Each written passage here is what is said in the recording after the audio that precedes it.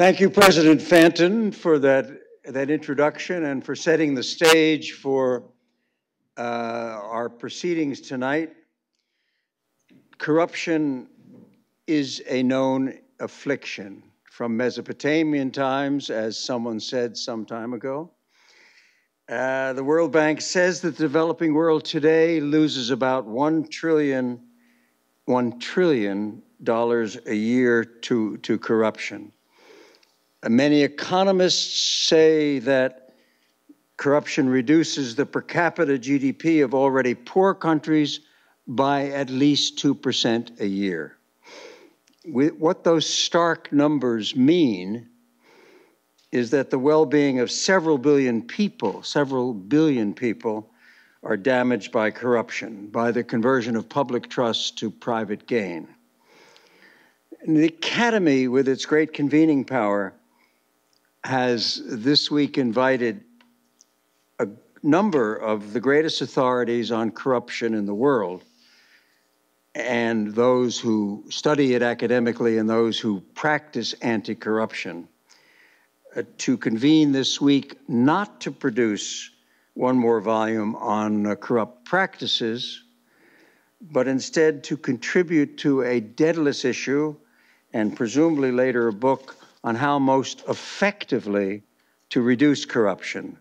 That is, we are trying to author a volume on anti corruption best practices, even though the notion of best practices is a contested issue.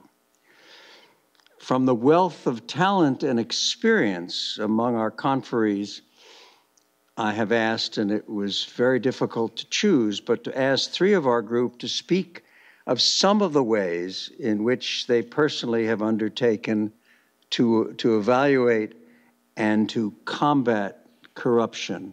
And the word combat should be taken as, a, uh, as an energetic pursuit in all three cases.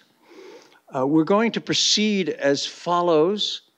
Um, Professor Teachout, professor of um, law at Fordham U University, sometimes candidate for Democratic nomination of governor of New York, sometime candidate for House of Representatives from a largely Republican district on, on upstate New York along the Hudson, and better known to some of you here as one of the authors of now of the anti-emoluments court case that will be heard in the Southern District of New York sometime this year.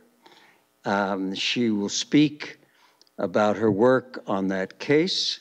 Um, uh, she comes to us as the director of internet organization for the Howard Dean presidential campaign, as the first national director of the Sunlight Foundation, very needed in this corrupt practices era, and the author of a very brilliant book called Corruption in America From Franklin, Benjamin Franklin's Snuff Box to Citizens United, a Harvard Press book.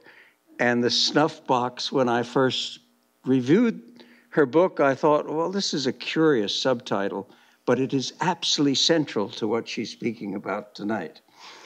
Uh, second, uh, moving from the US to Brazil, Judge Moro is the federal judge in the 13th Federal um, uh, Criminal Court of Curitiba in, in uh, Paraná State.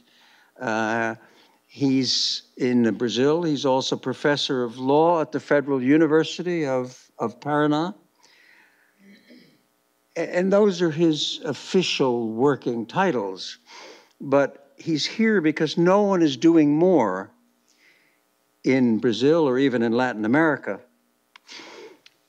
to deal with the effects of political corruption in uh, Brazil. Um, he is, as I've called him in, in print, a judge's judge who who uh, runs is, is running the most complete corruption investigation and cases ever to face uh, Brazil. Uh, we're talking about Lava Jato. I'm sure Judge Moro will talk about this. That is car wash uh, involving a giant oil company, construction companies, and um, dozens of dozens and dozens of politicians. Um, uh, he's presided over a number of trials already that have resulted in lengthy jail sentences for politicians and for corruption magnates. Um, he won't be allowed to talk about this, but the former president of Brazil is one of those with cases still being heard in his court. Finally, we turn to um, uh, Judge Wolf, the former chief judge, now the senior judge of the U.S. District Court for Massachusetts. Also, one time chief of the public corruption unit in the U.S. Attorney's Office in Massachusetts. But most people who have read the Boston Globe at any time in the last 20 years will know Judge Wolf as the person who uh, uh, presided over the cases of Whitey Bulger and Sal, Sal DiMasi and many others in a long career as chief judge and now, this, as I said, the senior judge at the, at the district court. He has probably seen uh, as much American political corruption as any serving judge in the United States.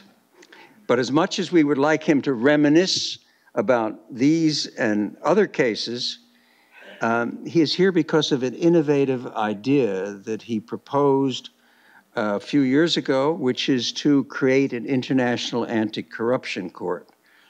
And I think that's what Judge Wolf will talk about. Let me start by turning things over to Professor Teachout.